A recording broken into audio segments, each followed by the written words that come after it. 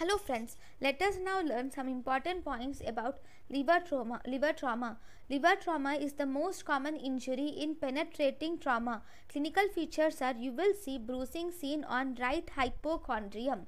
So, this liver trauma grading is based on CT scan.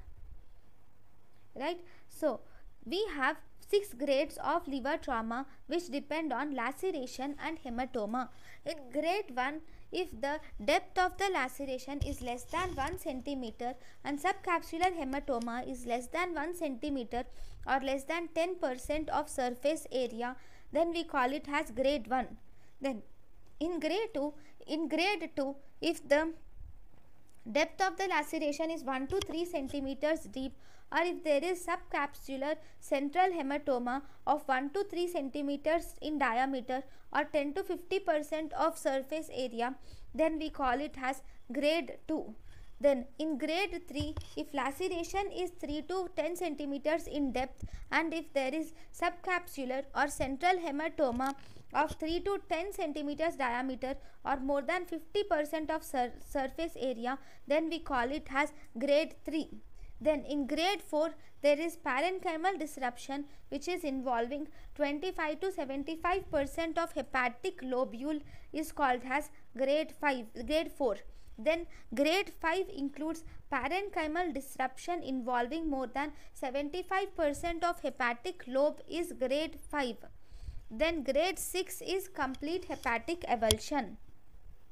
Then the most common symptom is bleeding and in the liver trauma again it depends upon the hemodynamic stability of the patient.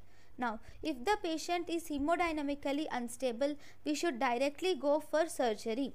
But if the person is hemodynamically stable then we have to do fast. In if fast is positive then we should do CECT and if the fast is negative we will have to do observation. And in the CECT if you see that the injury is grade 1 to 3 then you can observe the patient safely. But along with grade 1 to 3 if you see that if there is any contrast blush then you have to do angioembolization. Then if the patient is hemodynamically if the patient is uh, hemodynamically unstable then we should do surgery. So in the surgery uh, we will have to first in the surgery we will have to aspirate the blood. And if there is any bleeding from the liver then we will have to wrap the liver with wraps to create a tamponade. The main aim of doing this is to make sure that the bleeding stops. Now if the bleeding stops then um, there are two, con two conditions. The bleeding can stop or the bleeding may continue. If the bleeding stops then you should send the patient to icu and you should go for resuscitation. If the bleeding continues then we should do pringles maneuver in this patient. What is pringles maneuver? Pringles maneuver is this is the liver and this is the duodenum we have hepaticoduodenal ligament. So we will have to compress the hepaticoduodenal ligament um, with a clamp. This hepaticoduodenal ligament will contain the portal triad. So if you compress the hepaticoduodenal ligament the portal triad triad will also get compressed. So if the bleeding stops so here if the bleeding stops then the source of the bleeding is from hepatic artery or the portal vein. Because in portal triad we have two uh, vessels. That is one hepatic artery and portal vein. So if the bleeding stops from Pringle's maneuver we are sure that the bleeding is from hepatic artery or portal vein. But if the bleeding continues um, then uh, the source is is the source is from hepatic vein then you are you will be sure that the source is from hepatic that is not portal it is hepatic vein so you will have to ligate it. So once you find the site of the bleeding you will repair the defect. That is what you see in Pringles maneuver this is hepatic vein i'm really sorry this is hepatic vein not portal vein okay? Now we have four p's for management. One we have push pringle plug and plaque pack the four p's for management are push where you do manual compression. Pringle's maneuver has already said. You can either pack the liver with the mops so as to create the tamponade effect and you can even plug the liver okay? Then if the if there is severe injury to portal vein we cannot ligate it completely. As it is associated with 50% of mortality. If there is severe injury in the hepatic artery then we can ligate it completely. So these two you should remember. So if there is injury in the portal vein we cannot ligate it completely. If there is injury in the hepatic artery we can ligate it completely the next injury which is here important is pancreatic injury. This pancreatic injury occurs in adults and children. In adults the most common cause is penetrating injury. In children the most common cause of pancreatic injury is blunt trauma. So in adults if you see the most common organ affected in pancreatic injury is body of pancreas. Whereas in children uh, sorry. Then the blunt injury which you see in pancreatic injury occurs when the driver got stuck between the seat and the steering wheel. Okay? That is one example in adults. In children here in children the injury can occur with handlebar by while riding a cycle. In the cycle the handlebar can cause injury in children. In adults it can be it can occur when the driver got stuck between the seat and the steering wheel. Then next important points are then the most common cause of pancreatitis in children is trauma so, pancreatic injury can be divided into two types. One, we have only pancreatic injury and second, we have injury to the main pancreatic duct. If there is injury to the main pancreatic duct, it can be divided into whether the injury is present at head or body of pancreas or whether the injury is present at tail of pancreas. So, first if there is only pancreatic parenchymal injury then you can do conservative marriage manage.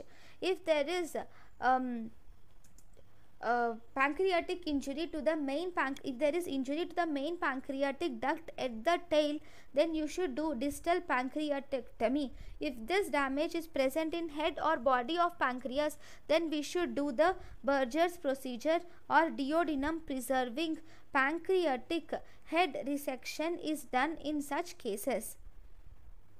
Then the important procedure here one of the important procedure is Berger's procedure right? Berger's procedure is also a surgery for chronic pancreatitis. In this Berger's procedure this is the duodenum and pancreas.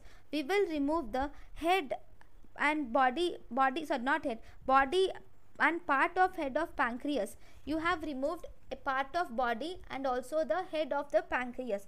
Now you are going to anastomose this with jejunum. So this is the jejunum. So you are anastomosing the pancreas with jejunum. So this is uh, the important thing. So here you are doing pancreaticojejunostomy you are doing and you are also doing duodenal jejunostomy so this is the important procedure which is Berger's procedure. Then you have combined pancreatic and duodenal injury. This we do Whipple's procedure. If there is combined pancreatic and duodenal injury, then we do Whipple's procedure. Then, then we have one more um, type which is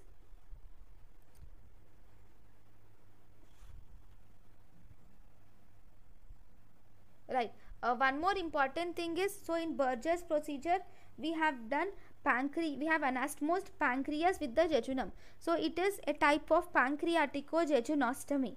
Okay? And you are even anastomosing the part of jejunum with jejunum. So it is pancreaticojejunostomy with jejunojejunostomy. You are not touching the duodenum or any part of the um, small intestine. You should remember that. Next the next injury is small intestinal injury. The small intestinal injury it is um, here it is also based on hemodynamic stability. If the patient is hemodynamically stable then we can do the primary repair can be done if the patient is hemodynamically stable if the patient is hemodynamically unstable and now if the if there is proximal segment then we should put a stoma. If it is distal segment then we can do clip and drop method. Then the next injury which is important is about the colonic injury. In colonic injury if there is hemodynamic stability now if the patient is stable and less contamination is seen then we can do primary repair. Should be done. If the patient is stable and if there is less contamination primary repair is done. If the patient is unstable and more contamination then if the if there is proximal segment is involved then we should bring out as stoma, stoma stoma. If the distal segment is involved then you should put a clip and drop. So i will show you what a stoma is and clip and drop is now. So this is the primary repair. Here this is the stoma which we have made. And here we are just clipping the one minute. Here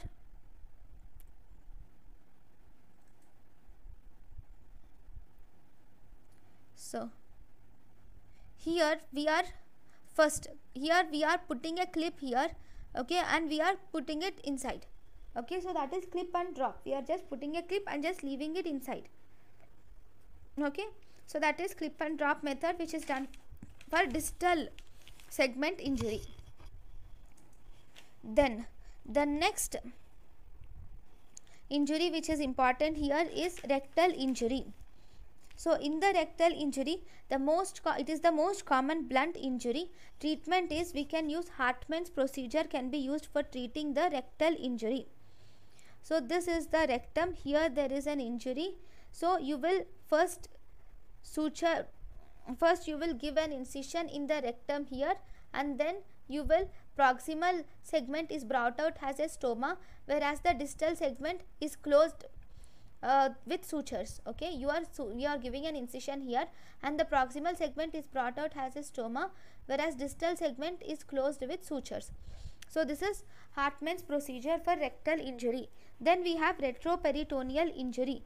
In the retroperitoneal injury we can classify the retroperitoneum into four zones.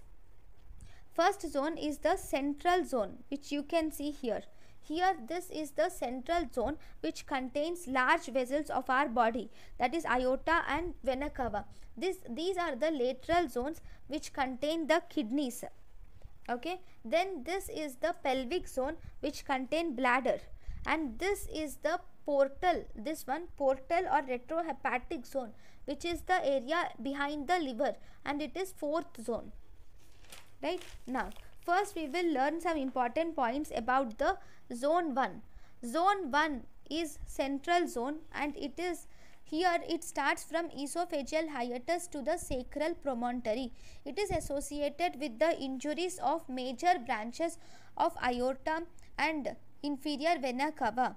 It is of two types. One we can call it as super supramesocolic second we can call it as inframesocolic in supramesocolic region this mainly involves the superior aorta. In supramesocolic region, we have the suprarenal aorta, inferior vena cava, superior mesenteric vessels are present.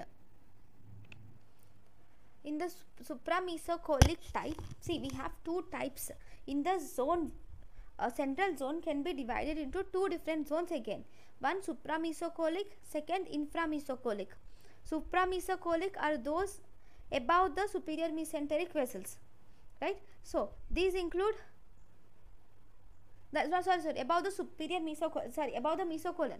Supramesocolon supramesocolic includes all those vessels which are present above the mesocolon. So these includes suprarenal aorta inferior vena cava superior mesenteric vessels and posterior uh, sorry proximal renal vessels and proximal renal vessels. Then infracolic inframesocolic uh, zone includes those vessels which are present below the mesocolon. These includes infrarenal aorta inferior vena cava and its bifurcation. Then treatment here is you will have to explore the exploration should be done with proximal and distal vascular control then zone 2 zone 2 includes the lateral zone which extends from the lateral diaphragm to the iliac crest. Here we find the distal renal vessels are seen here. So here we see lateral whenever there is lateral hematoma in lateral zone is mostly renal origin. So this is mostly treated by non-operatively by embolization. Then stage 3 stage 3 is pelvic. This is confined mainly to the retroperitoneal zone of pelvis. Here iliac vessels are present. Pelvic hematoma is usually difficult to control. So because it is difficult to control it is not opened. Because packing and angioembolism is should be done in pelvic hematoma but we do not open it normally. So as a result in this it is associated with high mortality but we do packing and angioembolism in stage 3 then we have stage 4. Stage 4 we have portal or retrohepatic areas. In portal or retrohepatic areas, um, we in order to operate it, we on retroperitoneal structures we have two maneuvers. One we have Cattell-Braasch maneuver. Second we have Mattox maneuver. So in Cattell-Braasch maneuver, in Cattell-Braasch maneuver, right manual rotation is done. In Cattell-Braasch maneuver, we do first right manual rotation. How is it done? We will first identify the white line of Toldt which is an avascular plane and then cut along this line and then retract the intestine and then we can reach the inferior vena cava and the right kidney easily. This will help us to uh, identify or this, this this will help us to reach the inferior vena cava and right kidney. Remember it is not aorta it is inferior vena cava and right kidney. So this is the intestines. This is the white line of Toldt which is seen and you will incise here. Once you incise here and you will retract it. So once you retract it all these uh, all these bowels will be on one side and then the inferior vena cava and the kidney is mainly exposed Sometimes you can see aorta but the main things which can be easily exposed here are inferior vena cava and the right kidney.